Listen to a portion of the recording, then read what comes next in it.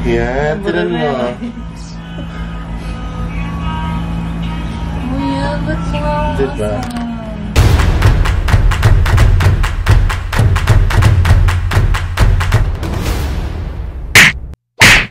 Hi guys! Welcome back to my channel. Today is another makeup day. Dahil ngayon kasama ko aking cousin si Mariglo sa Instagram down below. Um, since she's going to study college na, HRIM siya. So, kailangan niya matuto mag-makeup kasi for hospitality management, kailangan naka-makeup. Eh, hindi siya ma mag-makeup eh. So, yeah, I have to help her. So, ang disclaimer lang, this is not like a professional makeup um, session. Mga napapanood lang namin sa YouTube. And mga kung ano man ang natutunan ko lang sa mga pinapanood ko. At pardon dun sa narinig yung background music dahil yung anak niya ay nandito. No? Anyways, we're gonna start with always start with your moisturizer. Ang gagamitin ko itong eye white. Moisturize your face, the whole face. Importante ang skincare bago mag-makeup para maganda ang paglapat ng makeup sa face. Tapos, magsa-sunscreen na siya regardless kung anong weather, kung nasa bike ka nang nasa labas, kailangan nagsa-sunscreen ka, lalo na sa campus, oh my gosh, it's too sunny. So, magsa-sunscreen siya. Yan, natututo na siya mag-skincare. After that, magpa-primer na siya. Ayun, no. Yan. I-massage-massage mo yung face mo. Para ready paglagay ng makeup sa face, okay siya. Okay, ta first time lang niya mapunta sa vlog ay second, kaya matahimik siya. So, next is we're gonna put other foundation. Siyempre, papatuin niya yan. Papatuin yan. So, ka-foundation na tayo, gagamit niya is BYS Matte Liquid Foundation. Okay, and it's on the shade Natural Beige. Okay, medium coverage lang po siya, pero tinan natin kung sa mukha niya ay magiging medium coverage pa ba siya. Alisin mo yung buhok mo, ano ba yan? Wala ka bang headband? Dapat konti-konti lang. Nag- Nag-alcohol ako tapos. I'm using antlers brushes. Tumingin ka dito. Ano ba yung buhok na yan? Mariglo, ayusin mo naman yung buhok mo. Okay, ano school mo? Ano school mo? Pamantasan mo sod ng Pasig. Oh my gosh, ang Jordan sa school. Grabe ka naman. Local university lang kasi. Ginawa mo donation. First time ko mag-makeup ng iba. O, oh, diba? Tama lang yung ano, tama lang yung ano, yung yung shade sa'yo. Lagyan yung mga excess sa leeg para hindi, pag nag-picture sila ng classmates hindi foundation. Tapos, ang next is yung kanyang concealer. Ang gagawin ko is yung Intense Concealer by Detail Makeover. Tapos, using the same sponge or whatever, we're just gonna blend it. Para matakpan ng mga pagkukulang niya sa mukha. Yung mukha pa ng tao, mariglo. Blend, blend lang. Pinapakita mo. Yun, diba? Naka-highlight. Foundation thing. After nyan is we're gonna set her face using a setting powder which is from Makeup For You or whatever. So, hindi tayo mag-bake.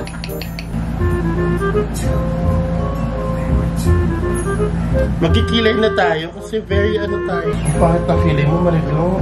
Mas maganda pa kilay ko.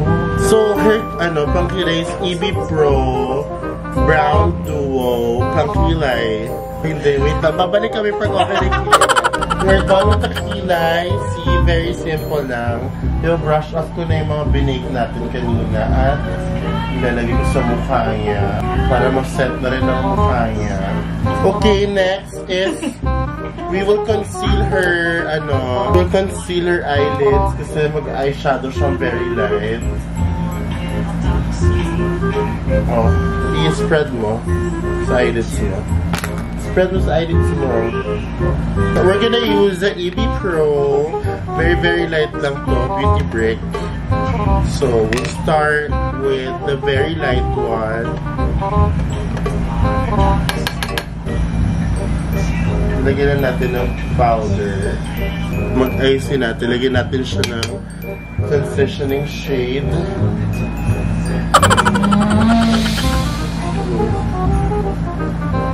Blending is the key, mga besh. Yan, tinan mo.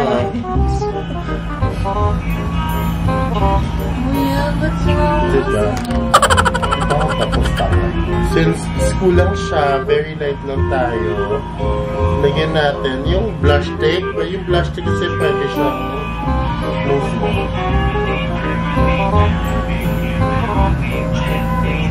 Very simple lang, di ba? Ganyan lang natin. Okay, very, very simple lang na eyeshadow. Okay, hindi na kailangan mag-eyeliner everything. And then we're just gonna like curl her lashes. And then mag-mascara tayo mga besh. Gagamitin ko yung BYS mascara na waterproof. Tapos magko-contour tayo. Oh my gosh, we're gonna contour. Okay, I'm gonna use this BYS, okay. Um, contour trio, trio chai, whatever. So we can like help her contour her face para pumayat yung face niya. Okay, so we're gonna contour her face. So, yung ka? Dali. paano? Dalian mo ah. Dito yung may di ba yan? oh? Pumunta dito. Tapos, ganyan. Yan, di ba? Pero hindi pa siya properly blended. Isa pa lang yan, payat na siya agad. Oh. Tumurap ka. Distances. Yan na, tinan mo. Ito yung buto, di ba? Eh, ano tawag sa buto? Takot na skin mo. Wow! Coming from you! Yan, ganyan pag-contour. Ganyan lang, oh. Okay, see? Oh, kabila. Hindi pa masyadong blended. Tapos, yung jawline. Ayan. Ayan. Okay. And then, it's time to do your blush. Where's your blush? Ngayon pala, ipapamoisturize ko na yung lips niya. So, kahit ano lip balm, dali moisturize.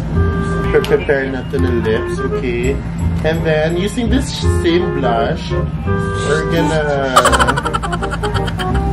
apply yung ano lang kamukha mo na si Marga. Okay, now it's time to like put a little bit of the highlighter. The highlighter mo ha. Sa brow bone mo. Para mataas ang kilay. Oh my gosh, nagwawala yung bata. Okay, anyways. So, that's her so far. Tapos, magle-lip tint na si, ano, Mariglo. Ito lang yung lip tint niya. Yan! O, diba si Marga? Lagyan natin ng highlighter. Si Sunny's face, may, high, may glow stick or highlighter stick. Ito na. Yan! Sino mo nga, lumapit ka? My gosh, mukha ka ng tao. So, ganyan lang ka-basic ang makeup mo. Ayan. So, mukha na siyang tao, guys, di ba? Mukha na siyang tao. Gusto mo ba? Huwag ka naman umalis. Mukha ka ng sadako. Ayan. This is your everyday look for ano, school. Pangit talaga kilay mo. Ayan, so tapos na siya. Yan yung everyday look mo for school. So like, ayan, fresh ka na. Pangit na ng kilay niya kasi naturally pangit yung kilay talaga niya. So like, that will be your like everyday look. Be your everyday look. So natandaan ba kung ano yung process? Okay, alam ko na. So I gave her makeup, like on my junk makeup. Yung mga makeup na, well, thumbnail muna tayo. Yung mga makeup na hindi bagay sa kanya, kaya bas bagay sa akin. Then thumbnail tayo. Wait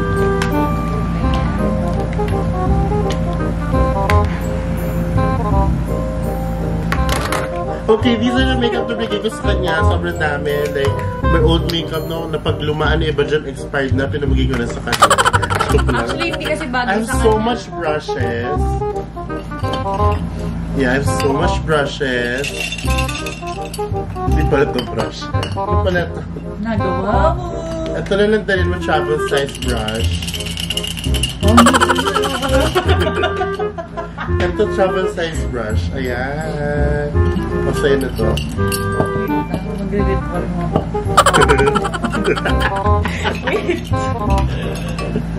Ang daw!